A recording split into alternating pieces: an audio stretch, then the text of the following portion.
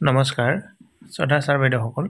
আপোনালোক সকলোকে মই মোৰ ইউটিউব চেনেল নলিনী কান্ত ডেকালৈ স্বাগতম জনাইছোঁ। ছাৰ বাইদেউসকল শাৰীৰিকভাৱে আজি দুদিন তিনিদিন ধৰি যথেষ্ট অসুস্থ হৈ আছোঁ। সেইকাৰণে নিয়মিতভাৱে ভিডিঅ' দিব পৰা নাই। তথাপিও আপোনালোকৰ কাৰণে ভিডিঅ'টো লৈ আহিছোঁ যিহেতু ভিডিঅ'টো আপোনালোকৰ কাৰণে যথেষ্ট জৰুৰী। ভিডিঅ'টো প্ৰত্যেকখন বিদ্যালয়ৰ কাৰণে জৰুৰী আৰু এই ভিডিঅ'টো আপোনালোকে যিমান পাৰে সিমান শ্বেয়াৰ কৰিব যাতে বিদ্যালয়সমূহে কথাখিনি গম পাবৰ কাৰণে সক্ষম হয়। এই চিঠিখন আহিছে ওঠৰ তিনি দুহেজাৰ তেইছ তাৰিখে। চিঠিখন পঠাইছে Sangita Saikia S I A C S officer on special duty Samagra Shiksha Assam. আৰু চিঠিখন প্ৰত্যেকখন জিলাৰ ডিষ্ট্ৰিক্ট মিছন কোঅৰ্ডিনেটৰসকললৈকে পঠোৱা হৈছে আৰু ডিষ্ট্ৰিক্ট এলিমেণ্টেৰী এডুকেশ্যন অফিচাৰসকললৈকে পঠোৱা হৈছে। অৰ্থাৎ এই এই চিঠিখন এই চিঠিখনৰ যাৰা বিদ্যালয় সেইবিলাক বিদ্যালয় সামৰি লোৱা হৈছে যিবিলাক বিদ্যালয় প্ৰথম শ্ৰেণীৰ পৰা অষ্টম শ্ৰেণীলৈকে আছে। কাৰণ ডিষ্ট্ৰিক্ট এই মিছন কোঅৰ্ডিনেটৰ বুলি কোৱাৰ লগে লগে সেই তেওঁ সেই বিদ্যালয়বিলাক সামৰি লোৱা হ'ব। ডিষ্ট্ৰিক্ট এলিমেণ্টেৰী এডুকেশ্যন অফিচাৰ বুলি কোৱাৰ লগে লগে সেই বিদ্যালয়বিলাক সামৰি লোৱা হ'ব। ছাবজেক্টটো হৈছে schedule of public hearing in thirty three districts under social audit for Samagra Shiksha Samagra শিক্ষা। অৰ্থাৎ বিদ্যালয়সমূহত এটি বিশেষ ছ'চিয়েল অডিট সামাজিক হিচাপ পৰীক্ষণ অনুষ্ঠিত হ'ব। আৰু ইয়াৰ ক্ষেত্ৰত এই অকণমান বেলেগ ধৰণে এইবাৰ ছ'চিয়েল অডিটটো অনুষ্ঠিত হ'ব। তাক লৈ চিঠিখন আহিছে। স্পেচিয়েল এই পাব্লিক হেয়াৰিং বুলি কৈছে এই কথাখিনি আপোনালোকে চাই লওক। Sir madam with reference to the subject cited above I would like to inform you that cluster level public hearing of of under social audit of Samagra Shiksha Assam for the financial year two thousand twenty two to thousand twenty three is scheduled from 21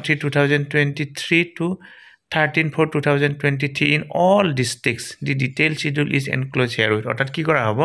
cluster wise social অডিটটো অনুষ্ঠিত হ'ব আৰু এই social audit অনুষ্ঠিত হ'ব একৈছ March মাহৰ একৈছ তাৰিখৰ পৰা এপ্ৰিল মাহৰ তেৰ তাৰিখলৈকে।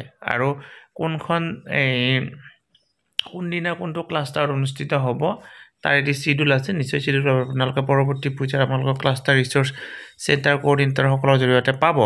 গতিকে সেইমতে আপোনালোকে প্ৰস্তুত কৰি ল'ব লাগিব। আৰু ইয়াৰ ক্ষেত্ৰত আপোনালোকে ছ'চিয়েল অডিট বুলি কোৱাৰ লগে লগে আপোনালোকৰ এই যিমানবিলাক হিচাপ নিকাচৰ কথা আছে সেই আটাইবিলাক ইয়াত চোৱা হ'ব। আপোনালোকে ইতিমধ্যে যিহেতু ভালে কেইবছৰ ধৰি ছ'চিয়েল অডিটৰ কথা ছ'চিয়েল অডিট কৰি আহিছে সেই কথাখিনি আপোনালোকে ঠিক কৰি ল'ব লাগিব। Therefore, you are requested to circulate the information about the said above schedule of public hearing to all the concerned district, block, and field level functionaries. And the concerned school oblique SMCs with instruction to extend the all uh, extend to all necessary support and cooperation to the Assam Society for Social Audit for successfully conducting the public hearing during the period. কি কৰা হৈছে Assam Society for social audit এইটো social অডিটটো কৰিব Assam society আগতে কি হয় আমাৰ এখন কমিটি থাকে সাতজনীয়া কমিটি কমিটিখনে কৰে এইটো কিন্তু এছাম ছ'চাইটিয়ে কৰিব গতিকে তাক যাতে সকলোৱে অংশগ্ৰহণ কৰে বা সকলোৱে সহায় সহযোগ কৰে তাৰ কাৰণে এই কথাখিনি কোৱা হৈছে। তাৰপিছত চাওক ডিষ্ট্ৰিক্ট মেজিষ্ট এই মেজিষ্ট্ৰেট অৰ ৰেচপন এই ৰেচপন কি বুলি কৈছে? ৰিপ্ৰেজেণ্টেটিভ এই নাম দিয়া হৈছে is to attend the social audit public hearing heads inform accordingly আৰু এই ইয়াতে অফিচৰ বিশেষ মানুহ বিলাকত মানে মেজিষ্ট্ৰেট বা আন আন ব্যক্তিসকলো উপস্থিত থাকিব।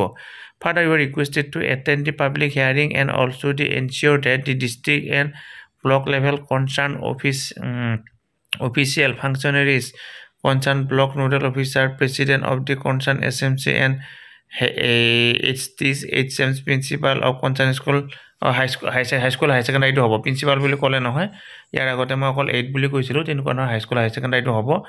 Concern school attend the social audit public hearing as per schedule positively গতিকে যিবিলাকত অনুষ্ঠিত হ'ব আপোনালোকৰ কাৰণে চিডিউল পাব।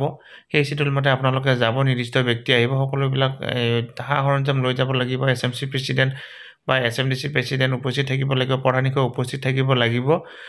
আৰু আপোনালোকক যিখিনি তথ্য বিচাৰে সেই তথ্যখিনি আপোনালোকে ছাবমিট কৰিব লাগিব। The matter may be treat at most urgent আৰু এইটো যথেষ্ট গুৰুত্বপূৰ্ণ হিচাপে বিবেচনা কৰিবৰ কাৰণে দিয়া হৈছে।